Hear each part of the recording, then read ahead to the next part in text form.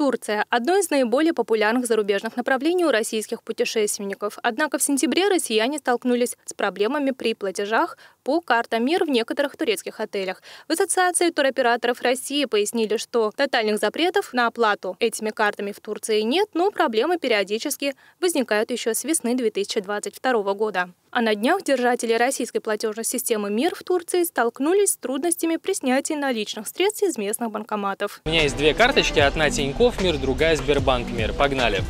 Вставляем сначала Тинькофф МИР в банкомат Денис Банка. Вот здесь есть Денис Банк, отчетливо это видно. Выбираем язык, ставим русский. Пожалуйста, выберите операцию, э, например, снятие наличных.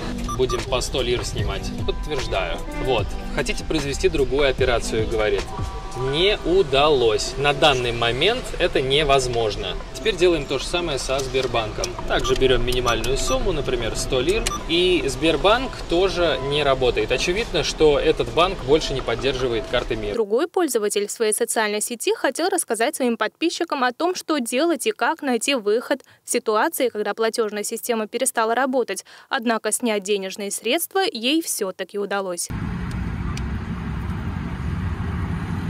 Пробуем снять. Ну, судя по звуку, все работает. Очень интересно. Угу.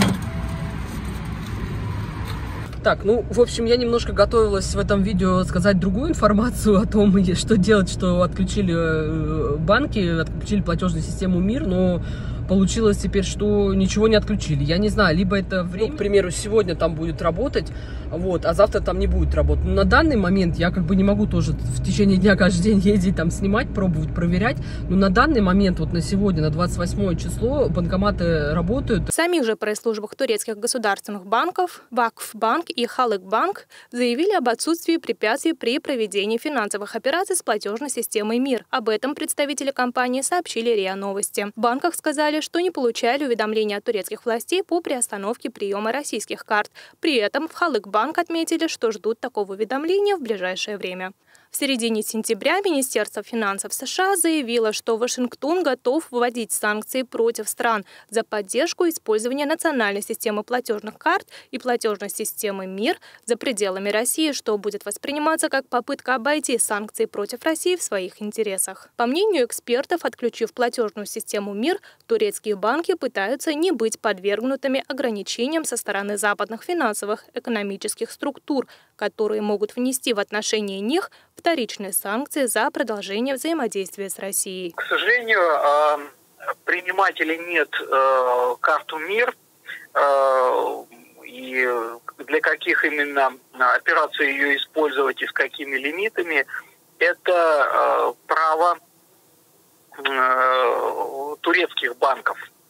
Потому что, находясь на территории Турции, вы обращаетесь в турецкий банк, Соответственно, турецкий банк э, решает, э, согласен ли он э, принимать карты МИР.